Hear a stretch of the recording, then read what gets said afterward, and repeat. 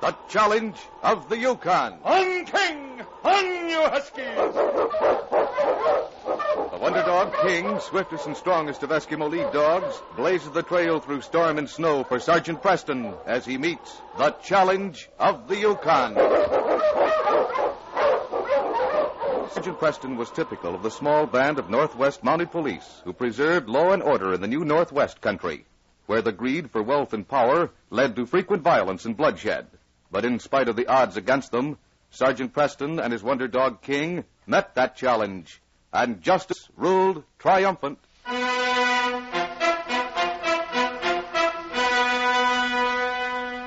As Sergeant Preston drove his dog team along the trail bordering the river near Selkirk, he heard a child's voice calling frantically. Come on, Mabel. Jump, jump quick. Oh, help somebody. Mabel, you'll get drowned. I'm coming to get you. Hello, King. Hello, you Huskies. What's wrong down there? Here, you. Come out of that water. No, I gotta get my dog. My dog's out there. Jimmy, come back here. Now, get up there on shore. My dog. See him? He's out there on that device. It broke away. I gotta get him. I'll get him for you some way, Jim. But don't you go in after him. Oh, look, he slipped. He's in the water and he's going under. He'll bounce. He's so little. All right, King. I sure can get him, boy. Go get him. King will get him, Jimmy. Your dog won't drown. Mabel's only a puppy. Oh, I hope King can bring him in. Current's too strong for your pup, but King can handle it. There. See? He's got him. Fella, that's a boy. We'll have to run along shore. Yes. Current's sweeping him downstream. Poor Mabel. He's half drowned, I'll bet. This won't hurt him. All right, King. Good work. There's your dog, Jim. He's still alive. Mabel. Come back to my sled, Jimmy. We'll get you and these dogs back to your cabin. Dry you off. Do you think you'll get a bad cold, Sergeant? No. We'll dry him off and warm him up. I'm sure he'll be good as new.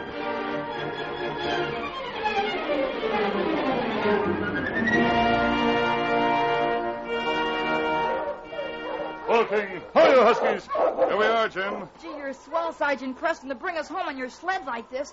Mabel's all right, I think. I held him inside my parka. Come on. Why, you're soaked to the waist, Jimmy. You're wet to the knees. And poor King, oh, but he's frozen. Jimmy. Oh, hello, Sergeant Preston. Hello, Mrs. Rogers. What on earth has happened? Mabel went out on the ice and it broke loose and went floating down the river. King saved him. Mabel again. That dog gets you in more trouble. They're both all right, I think, Mrs. Rogers, but uh, Jimmy better change his clothes. Oh, you're wet too, Sergeant. Just to the knees. Bring King here beside the fire. Mabel is shivering. Guess I better wrap a blanket around him. Here, give Mabel to me. Now you change those clothes at once. All right, Mom. now, just why does he call that dog Mabel? Oh, he likes that name. He had another dog once called Mabel, so this one had to be the same. Even though he should be called Mike or Prince. well, what kind of dog is Mabel? My dad says he's a thoroughbred mongrel. Oh, A mixture of just about everything, I guess. All I know is he's more trouble than any dog I ever saw. He chews everything and carries things out, buries them, But and he... Says he has the best disposition of any dog in the world. Yes, that dog is just like your father. He trusts everybody and thinks everyone is his friend.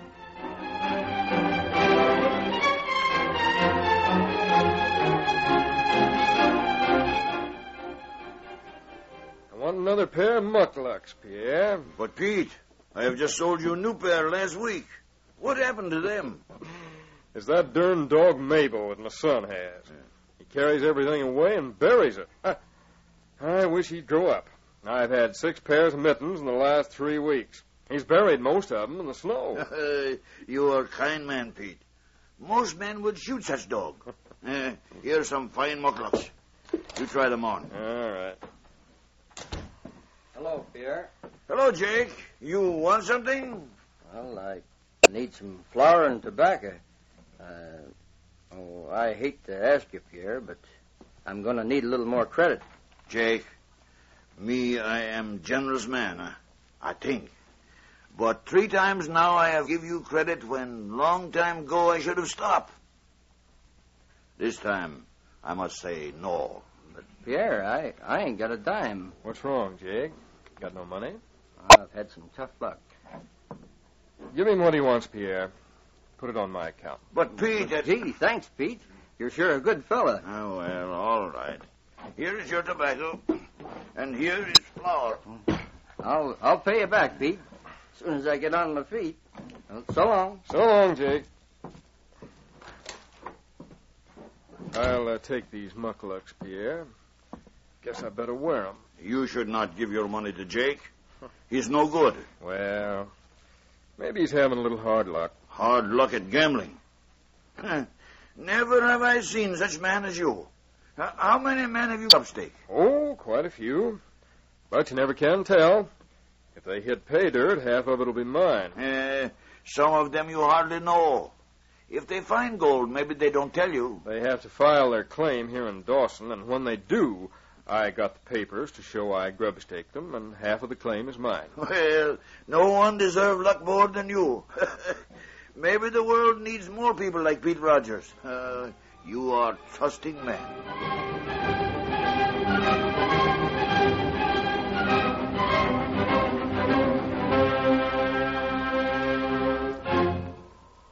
Two men were camped a few miles outside of Dawson. Pierce Vance was older and dominated Bill Davis, who was smaller and milder. We'll stay here for a few days till we find out what's happening in town. You better go into Dawson tomorrow. Yeah, somebody might recognize me and start asking questions. They won't know you. That beard changes your face. Find out if Pete Rogers is still around, where he's living. Hey, Pierce, don't you think it'd be better to give him a share of our claim? After all, he did grubstake us when we didn't have any money. Why, we I don't start that again. This claim is too good to give him half of it. It'll mean thousands of dollars. We ain't gonna do it. Well, you have to file a claim. I don't see how you We'll can... file it after we get the paper Rogers has that shows he grubstaked us. If he loses that, he can't prove nothing legally. And the claim is all ours. Now go on, get to Dawson right away.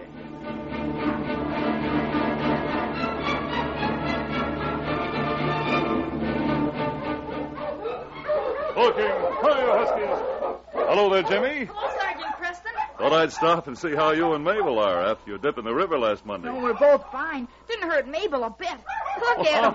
I think he knows King. He's trying to show off in front of him. I guess he is trying to impress King. Uh, you going to the show in Dawson tonight? Oh, sure. Pop and Mom are taking me. I never saw a magician before.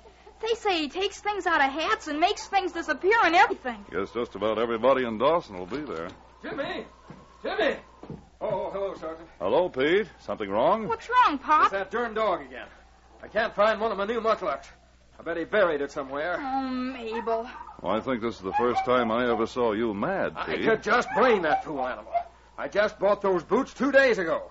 Look at him, leaping around, showing off in front of your dog. Gee, I'm sorry, Pop.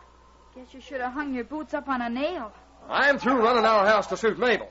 Hanging everything up beyond his reach. Buying new he got mucklucks. something out of the snow. He wants to play tug of war with King. I knew muckluck. Bring that here, you mangy cur. Jimmy, catch him. Mabel, give that to me. You ought to be ashamed of yourself. I guess all pups are alike, Pete. Here, Pop, here's your boot. It doesn't hurt a bit. Now, I want you to give that dog a good whipping. But, Pop, I can't whip him for digging up the boot. It was burying it that was bad. Wasn't it, Sergeant? Jimmy's right, Pete. If Mabel is rewarded for digging up that muckluck, maybe he'll find some of the other things he's buried. Oh, you're a good dog, Mabel. Good old fella. Yeah, this beats everything. Having to pet him when I want to kick him in the slats. Good dog, Mabel. You dug up my boot. He's proud of himself. Look at him wiggle. Well, guess I'll be going. See you tonight, Pete. Jimmy says you're all going to see the magician. Yeah, maybe I can make a deal with him to come out here and make Mabel's spit.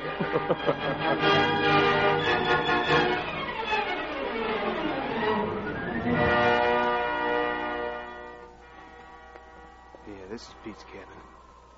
Gone to shore, all right. Yeah, everything's dark. Give me that lantern. I'll light it inside. You better stay out here and watch. So you leave the door open. If I see anything, I'll whistle. Hey, you shut up. Friendly little cuss, ain't she? Here, get down. I don't want to play with you. Get down, I say.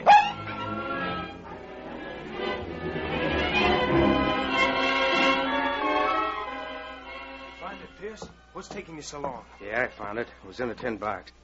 Took me a long time to locate it. I got the paper here in my mitten. Go out and watch. I have to put everything back the way I Well, found it. hurry up. Someone's bound to come soon.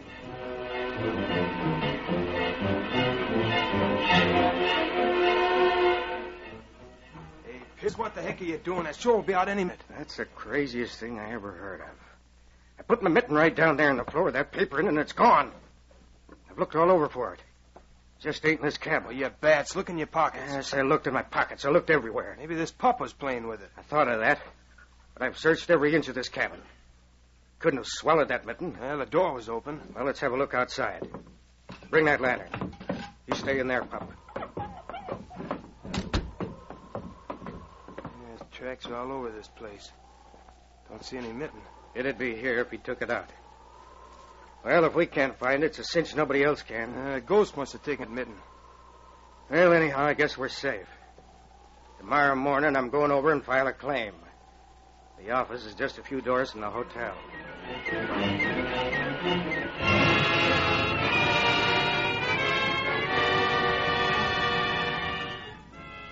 You better tell me everything that happened, Pete. Now, you're sure you had this paper that proved you grubstake Pierce? Sure, I had it. Right here in this tin box. When I saw Pierce, he said if I produced this paper, I could have my share of his claim. I thought it was kind of funny, but I knew I had it. Were there any witnesses to prove you grubstaked him? No, just Pierce and Bill. Well, there's nothing you can do about it legally without that paper. I wonder if Pierce knew it wasn't here. You mean maybe they took it? It's possible. But they just got into town yesterday, and nothing in this cabin was disturbed. Now, come on outside. Maybe we can find some tracks around here. Ah, it beats me. I know that paper was in that tin box. Sergeant, just look at me. He's showing off for King as usual, making a fool of himself. He sure likes King since he pulled him out of the river. We've got no time for that dog, son. Oh, look, he dug out a mitten. Mabel, bring that here. It's Pop. Where do you want to look, Sergeant? Everywhere, Pete. Here's one of your mittens, Mabel, buried, Pop. Gee, if Mabel digs them all up, you'll have about five pairs. Yes, wouldn't you know it? That fool dog has stole at least five mittens, and he digs up one that isn't even mine. Well, good fur lining in this one. I've got to the point where I'll wear it even if it doesn't match. Hey, what's this? A paper. Well, for the... Preston, it's the grubstake paper. What? Well, how in thunderation? Did Mabel do something bad again? No, not this time, Jenny. We don't know yet how he did it, but Mabel saved your dad a lot of money. Give me that mitten, Pete. King and I are going to find the owner of it.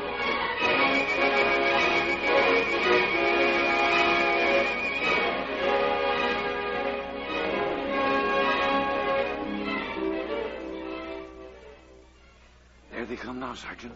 That's Pierce and Bill. I want them to cross the lobby and start down the hall. Here, King. This mitten. Find him, fella. Can he trace the scent? Certainly. And he has a nice fresh scent to trace. I'm going to be doubly sure.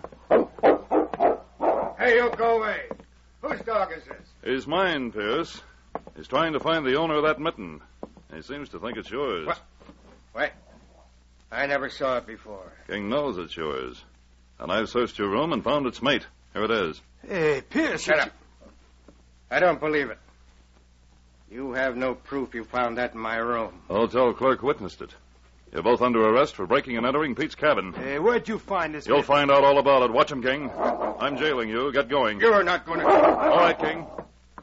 It all happened because of a mongrel pup named Mabel. And when you're safe in jail, King and I are going to take Mabel a bone. He saved us a lot of work, didn't he, boy?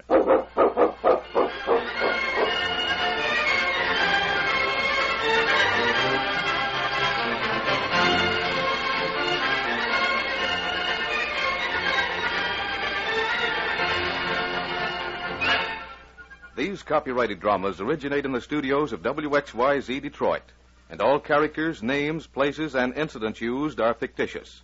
They are sent to you each week at the same time. Hugh Holder speaking. This is the Michigan Radio Network.